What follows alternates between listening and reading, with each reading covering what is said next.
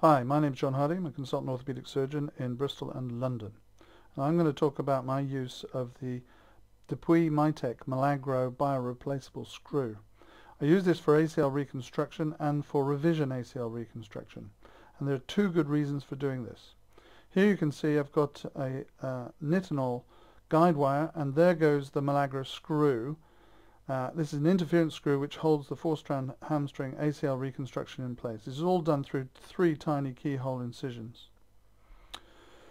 So there's the alternative, which is the old-fashioned type of metal screw. Now, two problems with the metal screw. The first is that when you MRI scan a patient who's been playing sport after an ACL reconstruction, they've had an injury, it's sometimes very difficult to see the structures around the screws because of the interference on the MRI scan. You can see that uh, those interference pictures there on the MRI scan with the screws highlighted with the red arrows. Now, ACL reconstruction is extremely important, especially for high-performance athletes. Here's the Milagro screw again, going in uh, to the medial wall of the lateral femoral condyle there on a patient, and uh, providing a great bit of interference. Not only that, over a 24-month period, uh, the manufacturers have been able to demonstrate complete reabsorption. So first uh, point is that it's not metal. You don't get any interference when you do an MRI scan. So here's an MRI scan on a patient that I've just done a Milagro screw, four-strand hamstring ACL reconstruction. First thing you notice is this MRI scan looks pretty good. You can see where the screw's been absorbed just before that red arrow and there's the ACL. You can see it in all its glory. That's really good for athletes when you want to know what's happened to them after a subsequent episode.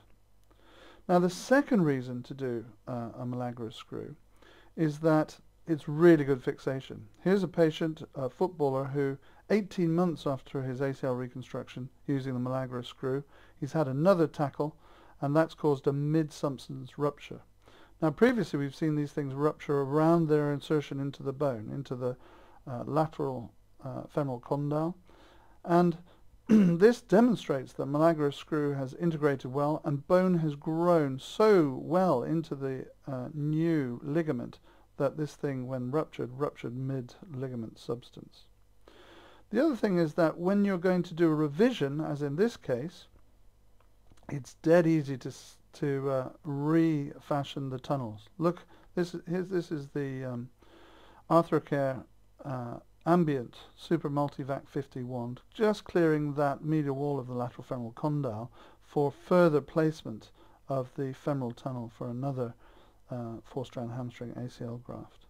And the great thing about it, there's no large metal screw to take out and large void therefore to see down the down the uh, femoral canal. Um, that means you can place your tunnels in the isometric point where they really need to be. Here we go. Here's the uh, instrument I use, which is a little awl, to show me exactly where the tunnel should go. There's the uh, remnants of the screw, which is nearly fully resorbed. If you look on an MRI scan, you'll see it really is uh, back to normal bone. so it's dead easy to drill a new hole. You don't have to graft it and uh, start the ACL reconstruction all over again. So revision ACL reconstruction with the Milagro screw uh, is made a hell of a lot easier than if you have to cope with a hole from a metal screw.